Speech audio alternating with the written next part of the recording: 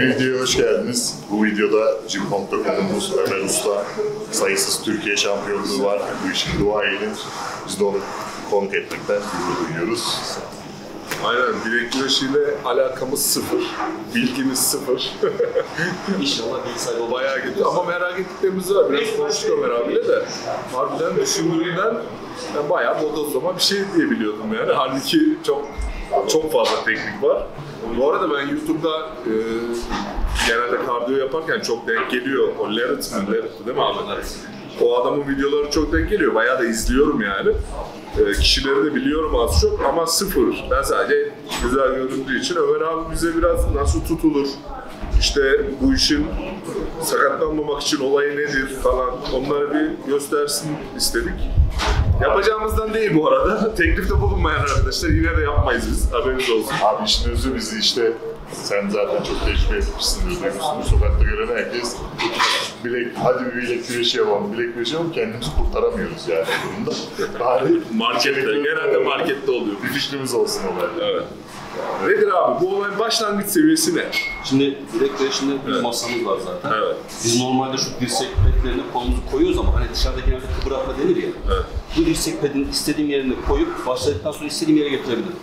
Öyle Peki rahatlamış. şeyi görüyorum bazen. Mesela bu dirsek pelinden çıkıyor adamın dirseği.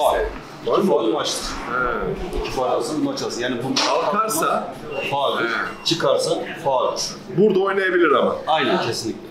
Elimizi koyduktan sonra şu pet vardı. Bu pete ben şöyle göstereyim. Şu hizaya kolum geldiği anda zaten dümdüz oluyor burada. Okey, şeye gerek yok. Değmesine gerek yok. Yani değmesi için böyle olması lazım. Tamam, Basit öyle bir- olsa- O zaman gene maçtır. Çünkü şu hiza geldik. Bak bunu bilmiyorum Hiza mesela. Mesela dışarıda bilek görüşü yaparken görürsünüz. Kolu böyle kalır. Yaslamıştır buraya, burada onu yenmeye çalışırsınız hala. E böyle bir mantık olmaması lazım. Hani siz böyle dümdüz yapın elinizi.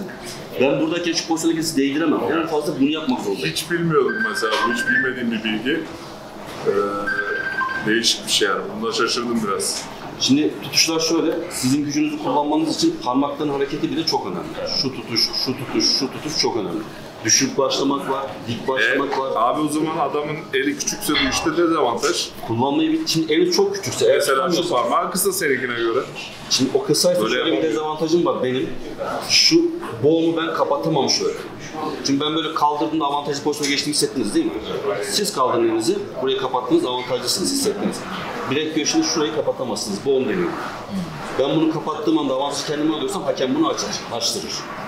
Sen kendi bu parmağını kapatamıyorsun öyle mi? Rakibin parmağını kapatamıyorum. Hareket. He. Çünkü çıktım avantaj bana geçti, indim normalleşti. Hissediyorsunuz O zaten. bile fark ediyor. Eder. Yani ben yukarı çıktıkça rakibin beden ağırlığından daha ileri gittiğim için beden açısından açı sonuçta daha yukarı gittiğinde daha avantaj bendedir. Çok fazla da problem ya. Elimizi koyduk, tuttuk. Şimdi benim buradan tutmamla, buradan tutmam arasında dik tutmam, düşük tutmam hepsi arasında uçurum fark var. Kişiye göre de değişebiliyor ve bunu zamanla tecrübe ediyorsunuz. Birden yapamazsınız bunu. Hani şimdi biz sizle konuştuğumuzda şu an dik tut derim, gerdir derim. Bunu gerdirdiğinde sen kendini hissetmeyebilirsin. Çalışıp kaslar koordine olduktan sonra hissedeceksiniz kendinizi. Şimdi bir, tek tuttuğunuz zamanki hali şu. Ne oldu? Beni biraz daha içeri doğru soktunuz parmağı yapınca. Burası dışarı çıktı. Benim avantajım biraz bu noktada bozuldu. Burada sıkıntı yok ama bu Yok yok. Faal yok. Dünyada en çok kullanılan tek parmaktır. Niye tek parmaktır? Çift tuttuğum zaman, böyle tuttuğum zaman, böyle tuttuğum zaman arasındaki farklar şu. Bütün daha güçlü ama bizde bir rotasyon denen bir şey var. Şurayı yuvarlamamız gerekiyor. Basınçta da olsa kuruma dönmeyecek. rotasyon yapıyorsun. Aynen şöyle olmayacak. Çeksek de böyle olmayacak. Ben bunu buradan tuttuğumda buram zayıflıyor. Tek tuttuğumda daha sertleşiyor. Çift tuttuğumda buram tam yukarı kalktı. Şu an rahatsız oldum zaten değil mi? Çünkü buram keskinliği çok arttı. Çok fazla hissettim kendimi burada. Çekmek zorunda olduğumu hissettim. Ama parmağım ucu boşaldı. Arada boşluk oluşturdum. Aşağı doğru basıyorum. Buram yukarı çıkıyor. Rakibi bozuyorum. Ama buram benim çektikten sonra boş bir parmak var burada. Ben solda tek bunu yapabiliyorum. Çift tutabiliyorum. Yeteneğim yok o konuda. Bunda da böyle tutabiliyorum. Dünyada en çok tutulan şey budur. Ben bunu yapamıyorum. Öyle bir yeteneğim yok. Solda bazen arada yapabiliyorum. Biraz kişi kendini bulacak. Evet, kendinize göre değişkenlik gösteren bir spor. Şimdi tutuştuk, tek tutun isterseniz. Şimdi bilek güreşinde birkaç tane teknik vardır. Varyasyonları inanılmaz fazla. Mesela şu bence Önemli. ama yanlış şu an duruşu değil mi? Şu an güzel. Öyle mi? Daha yakın olması gerekmiyor mu? Ya yakın olursa tekniğiyle alakalı. Şimdi çeken bir sporcuysa, kendi böyle geri atacaksa bu kadar yakın olmasının bir anlamı yok. Bu da da olabilir. Çünkü ben burada kendimi böyle çekiyorum. Yakından çektim zaten üstüne kapanabilir hemen.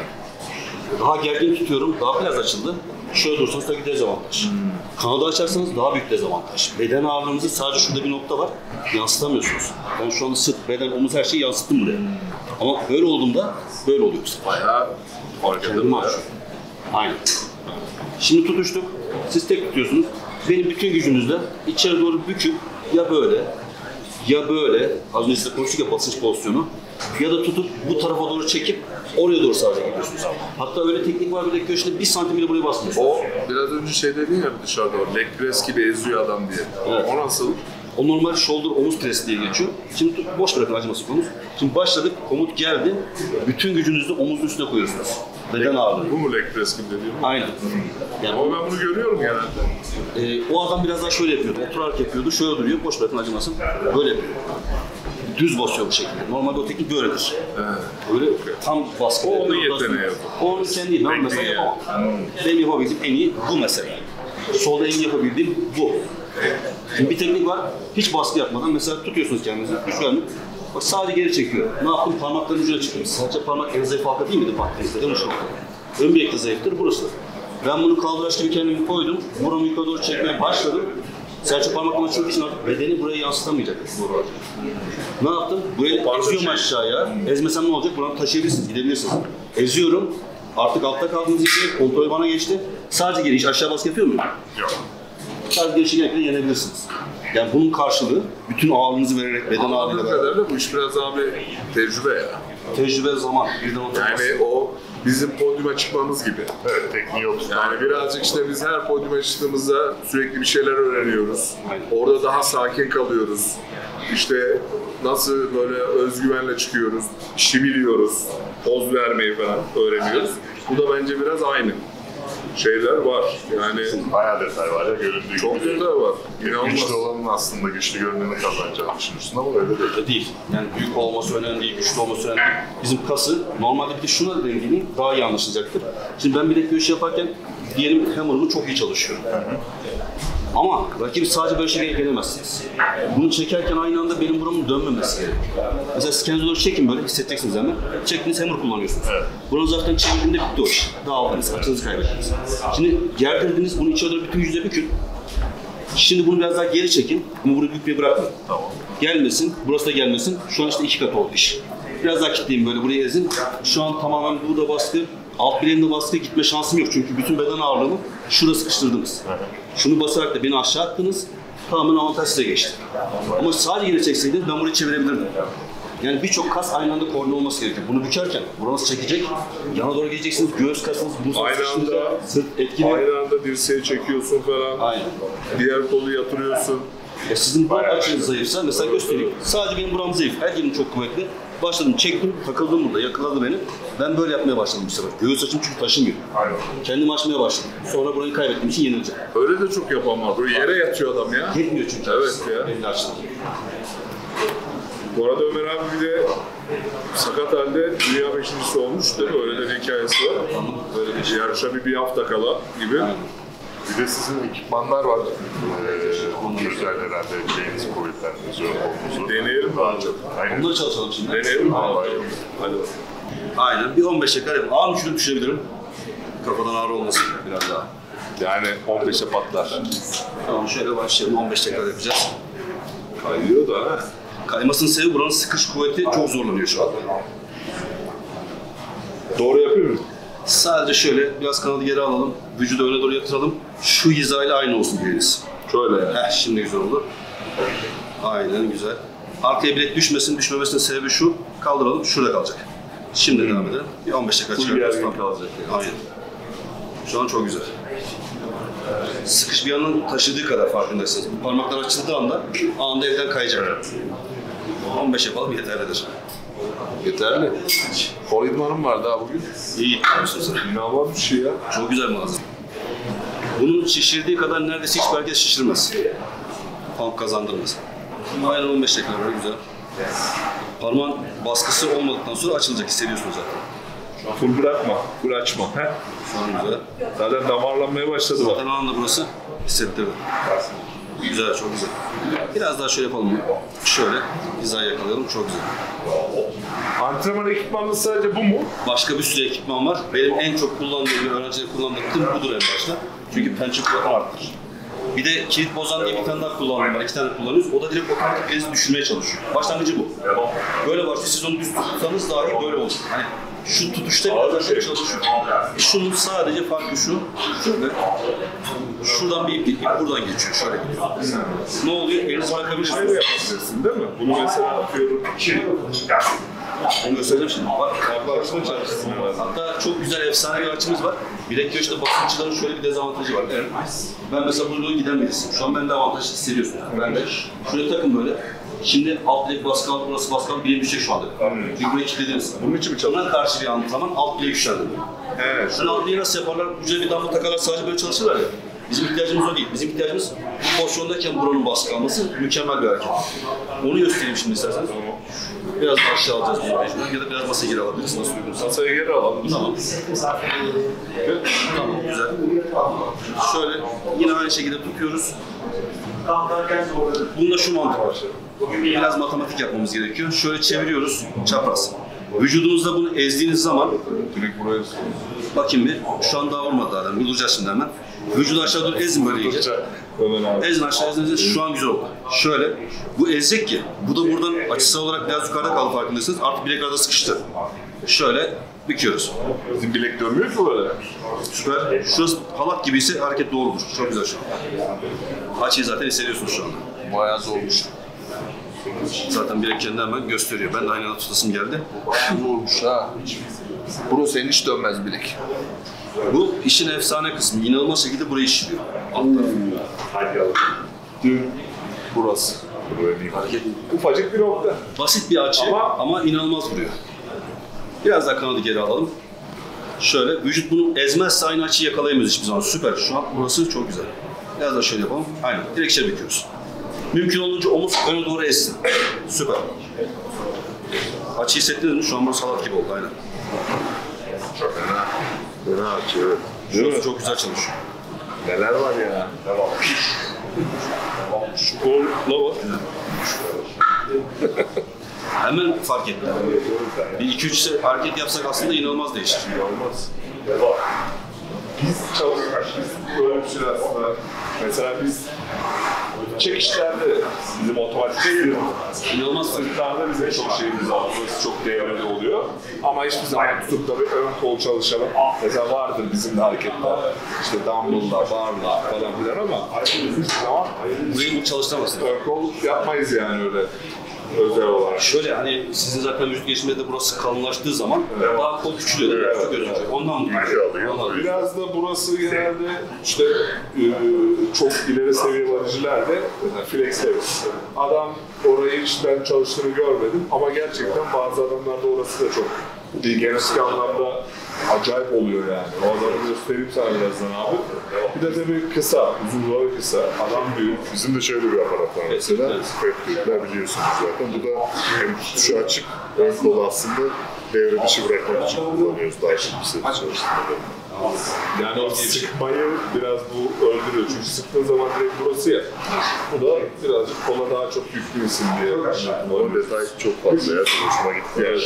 Yani insanlar hep diyordu bilek içinde neyi bu kadar seviyorlar. İşin içine girince hani o gelişme kısmı hani Bir de bağlama olayı var abi. Bağımız herhangi bir kemer bir şey getirirseniz bağlama gösteririm. Şu an bağımız yok yanımızda. Şimdi bağ, şunun için bağlıyoruz. Çeken iki tane sporcu tutalım böyle. İkimizin de ön bileği kol gücüne zayıf kalabiliyor. Çektik böyle kaldı. Eller ayrıldığında da bilerek kaçıyorlar. Çünkü kolu bağda güçlü. Genelde birer kaçıyor. Genelde. Götüremiyor abi. Adamın anından. öyle. Şöyle aldım. Sizden çevirdim. Tutun. O durumda ben on oluyorum şu an. Buradan aldım. Şimdi alttan alacağım. Bu sefer buradan geçirdiğimde tamam olay olur. Çekiyorsunuz istediğiniz kadar. Bağ kopartabiliriz yabancının. Şu anda ne oldu? Şu an bile bayağı. Hiç bile bir şey yapmadım. Sadece buramı gerdirdiğimde gerginliği hissettiniz değil mi burada? Tabii tabii. Buranı gerdirmek orasını buldu. Evet. Açısı. Bir de sizin bağlarınız şeyli bir de. Daha Kilitli gibi. Aynen. Kilitli gibi İyice değil mi? sıkıyorlar. Sıkıyor adam. Şu pozisyonda ne oluyor? Sadece burayı gerdirin biraz. Şöyle gergin başka bir şey yapmaya gerek yok. Ha öyle mi? Vallahi bak şimdi alttan şöyle basayım ben. Böyle bir destek olsun. Şu gergin duruyor ya şu an. Evet. Hafiften gergin durduğunda ben bastığımda direkt bileğim düşebilirdi artık. Çünkü burası benim buramı bozdu. Artık şu kaçış yok yani Aynen. değil mi? Ve burada genelde yan bası güçlü olan kazanıyor. Yani daha kim güçlüyse. Kolu güçlü olan yerde kazanıyor. El kontrolü daha iyi olan kazanıyor. Yani artık sizden kaçma şansım yok. Diğerini şunu yapabilirken ben bir tane göstereyim ona. Ben diğerinde şuradan boşluktan kaçabiliyorum mesela. Siz beni yenmeye çalışıyorsunuz. Ben buradan mesafe hemen çıktı. Şu mesafeyi açtım. Ama bağda öyle olmuyor. Yakalanıyorum. Buradan gidebiliyorum. Nasıl açtın? Şöyle, şöyle dik tutalım. Şöyle. Böyle düş değil. Hiç düşmesin burası. Şş, direkt böyle. Ha? Şu an parmaklarım ayrıldı. Mesafe açıldı. He, şöyle. Aynen. Ama bu sefer ne olacak? Bağ olduğunu düşünün. Okey. Aynısını yapın gene. Elime takılı kalabilirsiniz. Okey. Bağ. Mantığı bu. Kaçmanın da bir yöntemi var yani. Ya benim kendi bulduğum işi mesela getirin. Matematik olarak hesap yaptığımız zaman şimdi siz bunu çok sık tutabilirsiniz buradan. Nasıl kaçacağım sizden? Kaçamıyorum. Ben ne yapıyorum? Kendi bulduğum bir şey. Bunu yüklemeye başlıyorum. Sıkı tutun siz böyle. Kaçırmamaya çalışın. Burayı yüklediğimde, şurası boş. Bunu sadece şöyle attırdığım anda elinizden kaçıyor. Onu yüklemezsem kaçamam. Yakalarsınız. Gerdirdim, gerdirdim, Şey gerdirdim. yapıyor musun? Dirseğini kaldırıyor Yok musun? şöyle gerdirdim. Direkt kaçabiliyorum. Çünkü burayı gerdirdiğimde bunu Bayağı kaçıyorsun ya. Sen böyle. yok. Bayağı şöyle yapıp kaçıyorsun. Kaçamazsınız. Biz başlayalım. Kol kalktı faal oldu mesela. Bir daha yapın. Ha yok. Mantık şu. Dikiyorsunuz şöyle. Sadece burayı gerdim. Burayı bırakın. Burayı bırakın, bırakın, bırakın. Burayı gergin tutun şimdi. Ha. Şimdi sadece burayı aşağı doğru atın. Burada kaldı. Serçe parmağında. Tabii ki kaçacaksınız. Aynen bir daha yeniden böyle şuraya sadece şunu yüklüyoruz. Yüklüyorsunuz, atıyorsunuz sonra aşağı doğru. Hop gitti. Eğer bunu yüklemezseniz ama kaçmaz. En önemli kısmı öğrendim. Kaçışı öğrendim. Artık kimsenin kaçışı yok. Benim için yeterli abi. Görüşmek üzere. Görüşürüz. Tamam, kendinize iyi bakın. Eyvallah. Görüşürüz. evet, bu güzelmiş. Güzel. Normalde böyle kalkarlar. Ee, dünyada falan baktığınızda dikkat edin böyle hep böyle. İkisi de böyle yapar. Kollar böyle kalkar gider. Ben hepsini faal veririm orada. Evet, Vermiyorlar. evet, evet. Çünkü kollar kalka kalka gidiyorlar. Ama söylüyorsun. mantığı şu gerdirin. Atın bunu aşağı. Başka bir şey yok. Dışarı doğru. Orada direkt bağlıyorlar değil mi? Hemen bağa kaçıyorsunuz. Vallahi teşekkür ederiz Ömer Teşekkür abi. ettik. Biraz da olsa bizi bilgilendirdi bu işle alakalı. Düşündüğümden daha keyifliymiş bu arada. Zevkli spor. Evet, yani gerçekten söylüyorum düşündüğümden daha keyifliymiş. Benim hiç sıfır bir ilgim var, sadece izliyordum. Ama bir gün inşallah şeye de Zeytinburnu'na da salonda gelirsiniz. asıl salona gidersek orada belki bir bir hafta kol çalışamamak üzere bir idman yaparız orada. Öyle yıpratmıyoruz kimseyi. Öyle mi? Yani dışarıdakiler atarsanız... Ömer abide de bir şey var yani böyle bir. Karşıdakini bir düşünür. Hani genelde Mecbur. eziyet ederler ya bu tür adamlar karşıdakine. Çok iyi bir teşhis. Ömer abi de öyle bir şey yok. Genelde eziyet ederler şimdi. Bir tane bilek güreşçi gelse adam hakim olduğu bir hafta direkt alır, vurur, eder, Evet. bir canlı yakar.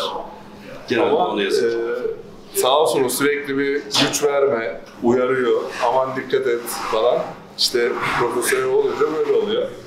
Çok keyifliydi ya gerçekten. Bizim için de. Abi teşekkür ederiz. Ayağınıza sağlık. Ayağınıza sağlık harbiden. İnşallah bir dahaki de İstanbul'da. Bizim orada bekliyoruz inşallah. Eyvallah abi. Teşekkürler. Sağ olun. Görüşürüz inşallah.